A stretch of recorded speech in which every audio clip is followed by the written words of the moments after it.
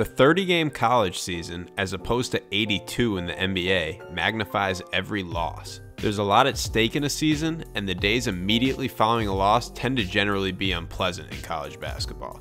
Don't believe me? Let's flash back to December 17, 2013. Southern Illinois lost to Murray State by 8. Here's SIU coach Barry Hinson on the loss. We're soft. Uh, we've been enabled uh, for whatever reason. I got a bunch of mama's boys right now. We got men and women serving our country. They don't get to take days off.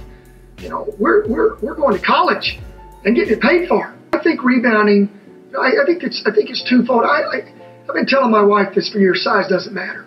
Off game, off game. Yeah, Marcus had an off game. Marcus was absolutely awful.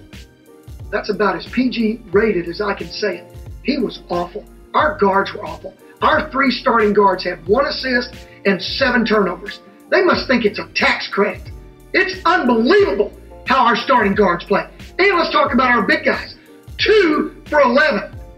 How can you go two for 11? My wife, my wife can score more than two buckets on 11 shots because I know my wife will at least shot fake one time. For this video, my idea was to take a data-oriented look at how this type of blow-up by a coach might impact a team. Obviously, this is a very difficult, if not impossible thing to study, so let's take a step back for a second. Last season, I was on the New Mexico State coaching staff. We beat our rivals, University of New Mexico, 75 to 56. There was one major reason for the win, offensive rebounding.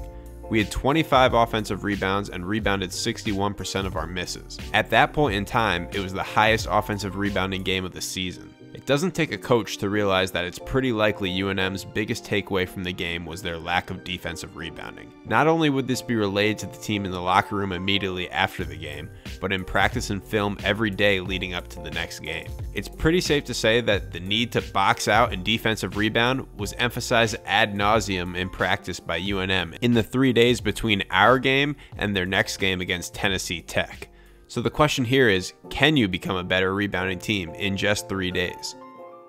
Basketball players and humans in general are, of course, subject to psychological factors. Take the hot hand as an example. Most studies show that there is little to no evidence for the hot hand. If you make several shots in a row, you generally aren't more likely to make the next one. But the hot hand, or at least the idea of it, does have an impact on decision making. A study I did years ago on Marshall Henderson showed that after he made a three, there was a 72% chance his next play was a three point shot. After he missed a three, there was only a 38% chance. So let's go back to rebounding. Is it a decision that can be emphasized for immediate results by coaching, or is it a skill that needs longer term development? I went through every college basketball game in the last 10 years and found the games where a team allowed their opponents to rebound over 50% of their missed shots in a loss.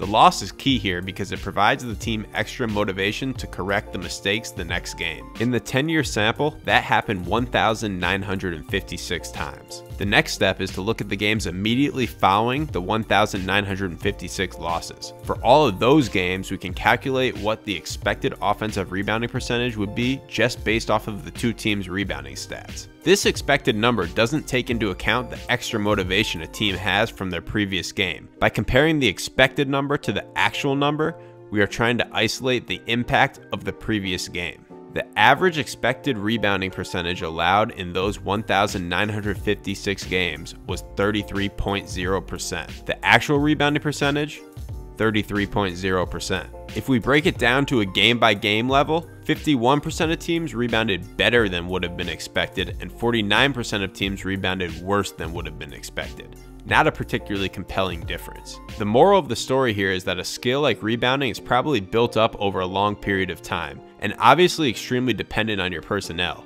Abstract topics like these are always difficult to properly quantify and test, and there are so many outside factors involved. But it appears that rebounding doesn't simply happen overnight. It takes a combination of talent, coaching, and potentially some emphasis that's built up over the course of a season.